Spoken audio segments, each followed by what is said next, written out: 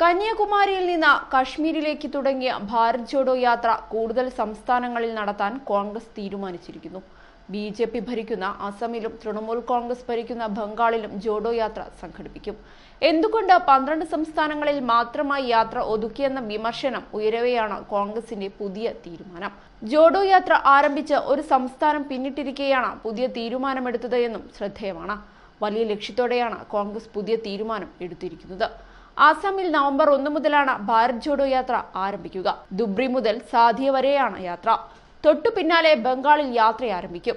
നാല് മാസത്തിനകം ഈ രണ്ട് സംസ്ഥാനങ്ങളിലും ഭാരത് ജോഡോ യാത്ര നടത്താനാണ് കോൺഗ്രസിന്റെ തീരുമാനം.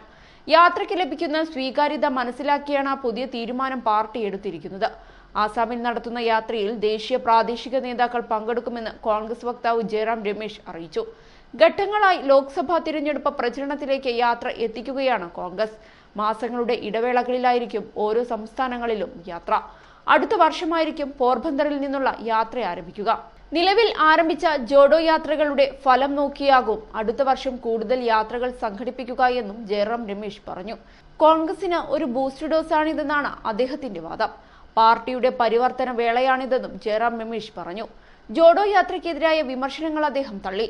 മൂവായിരത്തി അഞ്ഞൂറ്റി എഴുപത് കിലോമീറ്റർ നീളുന്ന യാത്രയാണ് ഇപ്പോൾ രാഹുൽ ഗാന്ധി നടത്തുന്നത്. കന്യാകുമാരി മുതൽ കശ്മീർ വരെ അഞ്ചര മാസം നീളുന്ന യാത്രയാണിത്. സാധാരണക്കാരുമായി കൂടുതൽ ബന്ധം സ്ഥാപിക്കുക. പാർട്ടിയുടെ അടിത്തടി ശക്തിപ്പെടുത്തുക എന്നീ ലക്ഷ്യങ്ങളാണ് യാത്രയ്ക്കുള്ളത്.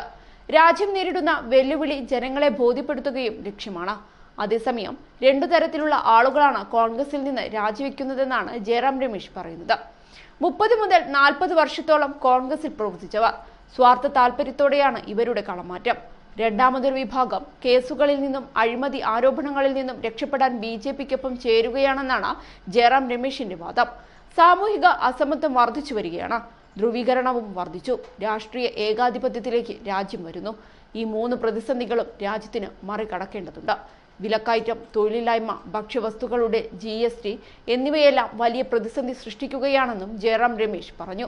രാജ്യം ഐക്യത്തിലാണെന്നും ഇനി വീണ്ടും ഐക്യത്തിന് ശ്രമിക്കേണ്ടതില്ല എന്നുമുള്ള ബി ജെ പി നേതാവ് ഹിമന്ത ബിശ്വ ശർമ്മയുടെ പ്രതികരണം സൂചിപ്പിച്ചായിരുന്നു ജയറാം രമേശിന്റെ മറുപടി.